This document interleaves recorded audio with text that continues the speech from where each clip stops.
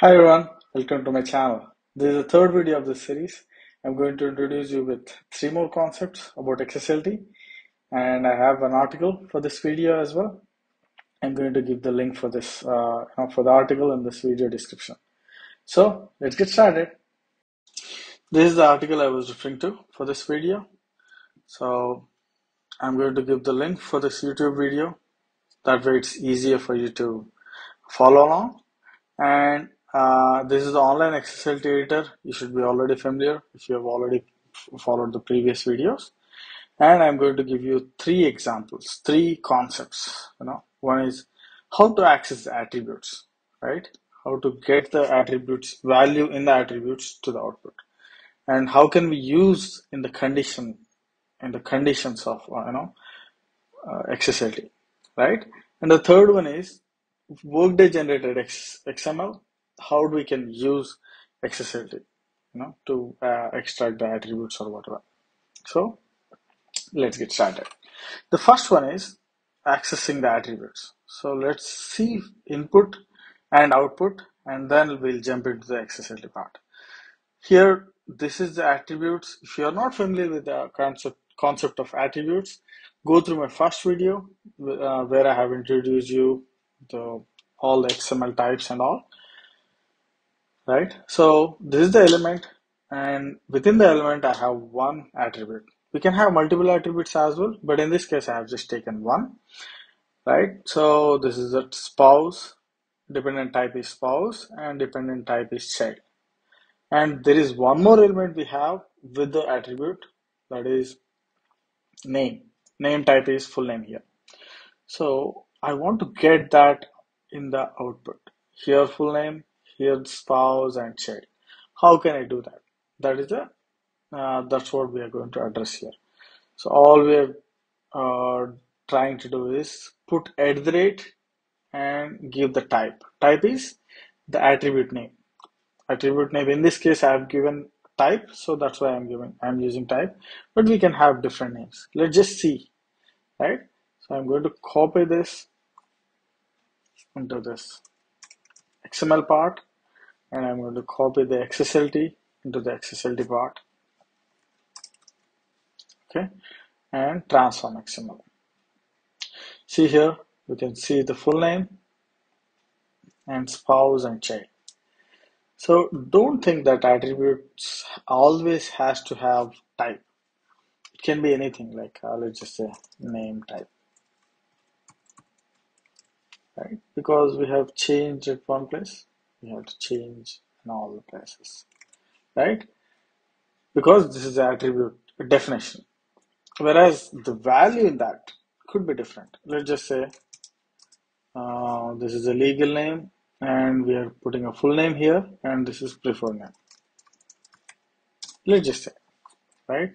And now, because we have changed the name type, we have to change the XSLT as well. Here I'm going to use name type, right? Transform XML. Look here. First is legal name, second is full name, and third one is preferred name. right? So that's it.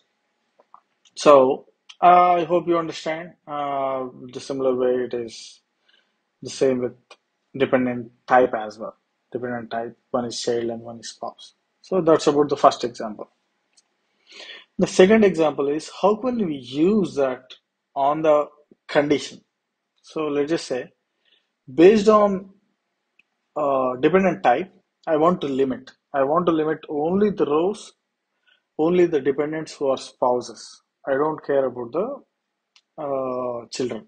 Let's just say there is a benefit plan which is uh, supplemental spouse uh, life insurance, let's just say. In that case, because that is spouse insurance, we don't care about the children, right? So, how can we use that? Is whenever we are trying to use uh, condition, right? We are we are going to put in the square bracket, right? And then of course, whenever we want to uh, access the uh, attributes, we have to put at the rate. Okay. So let's copy this, this data into the XML part and copy the XML here. Okay, and transform XML. So see, we can we are we are able to see only the spouses. Though there is child information, we are ignoring it. Why? Because we have given the condition only spouses. That's why only spouses are coming. Let's just say let's change it to child and rerun. See, we are getting only child information. Let's just say we are programming for um, child life insurance. Right? In that case, we really care only about the children. We don't care about the spouse. So that's a use case. And let's jump to the third example, you know, workday generated XML. so in this, we don't have any um, uh, attributes or something. It's just that it's a workday generated XML. This is a simple XML, right? Then let's see uh, how to how to write XSLT for this. First of all, what is the difference between Workday XML and other XML? Right? I'll tell you, and then I'll show you the example. So if you observe, there is WD. I've already explained in the first video, but I'm going to just uh, really, real quick, I'm going to touch that. So there is a namespace here. Namespace definition is given here when uh, XML NS, NS stands for namespace, and this is the na name of the namespace, WD in this case, right? So Workday uh, always uses WD or uh, you know similar things. We can have anything. Uh, if it is a true XML, we can have your own name. You can just replace this with your own name, right? I'll show you that as well, real quick.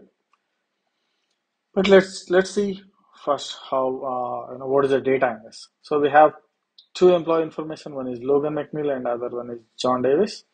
And Logan McNeil has two dependents. One is uh, child, and another is spouse. Whereas the John Davis doesn't have any, uh, you know, dependent information. Okay. So how to get that information out? So in this in this example, we are just extracting only employee information right? So let's see. Let's run this as it is. See, we are getting Logan McNeil and John Davis information. Okay, so I'm going to. Uh, I told you that I'm. Uh, I'll give you an example of replacing the XSLT. I'll show you that in a minute. So to replace the WD, I'm going to use Notepad++. I'm going to paste it here. And the language I have selected as XML. That's why this XML color coding is coming. So uh, let's just replace all the WDs with uh, um, ABC. Doesn't matter. Anything, right? and I'm going to replace all. Okay. Because I have replaced, uh, I have made changes to the XML, of course I have to make changes to the XSLT as well. Wherever there is WD, I have to replace with ABC. Okay, this didn't change.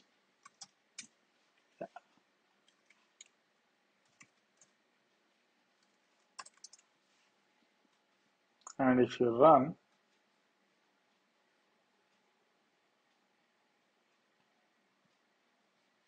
is not bound so there is some error here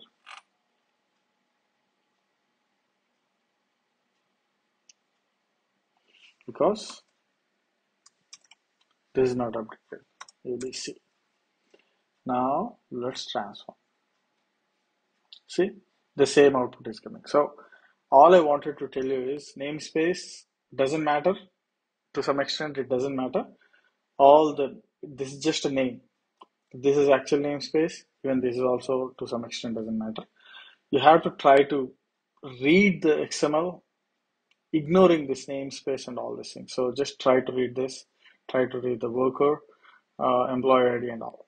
So that's how uh, you have to read and that's how you have to uh, interpret right? That's it for today. Let's meet again in another video. Bye